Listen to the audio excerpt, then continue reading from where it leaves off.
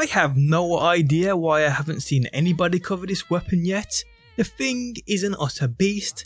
Oh, and it looks pretty too. How's it going guys, my name's DPJ and today I'll bring you another BL3 video. If you do enjoy it, leaving a like really helps out and subscribe if you do want to see more.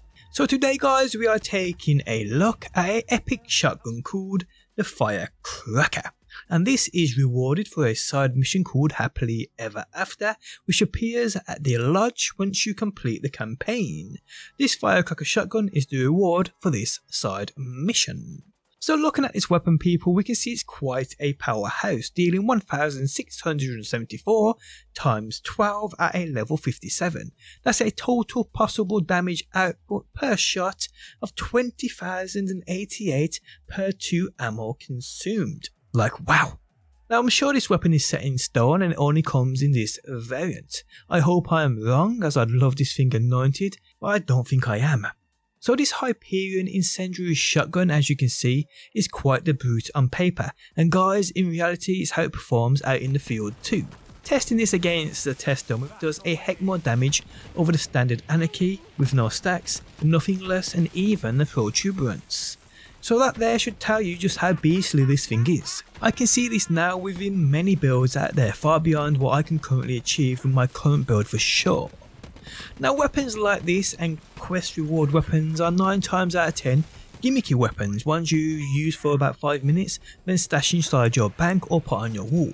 This one though in reality isn't much different gimmicky wise because it shoots fireworks, check this out.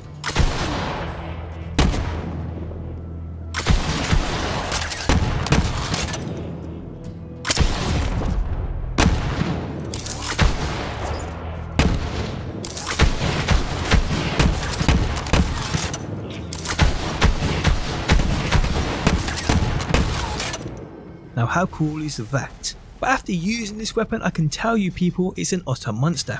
Yes it may be gimmicky, but it's still a beast. I used this and was loving it guys. But I will say not in every scenario. From any kind of range your hopes in hitting all of these exploding fireworks are kinda minimal. But if you get close enough they do incredible damage as you would expect. So this side quest mission reward gimmicky weapon is in fact an absolute beast, and it makes easy work within many scenarios this game throws at you. It's great with add control due to the spread of those firework projectiles, but it's also amazing against those larger bosses and larger single target enemies, as the spread of those fireworks do get to work indeed. So here we have people an epic weapon, a one-off epic weapon which performs a lot better than many of the new DLC legendaries which really guys, we shouldn't be really surprised about. In my opinion, still to this day, many people sleep on these epic weapons, so I believe Gearbox purposely hide gems amongst them, and this is one of those. So yes people, this firecracker is an absolute animal of a shotgun one I do recommend you get in and trying out, and if it looks interesting to you, you know how to get it.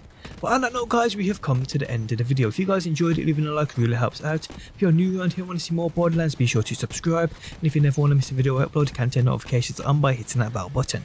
Well guys, thanks as always for stopping by. Hopefully you enjoyed the video and hopefully I will see you on that next one.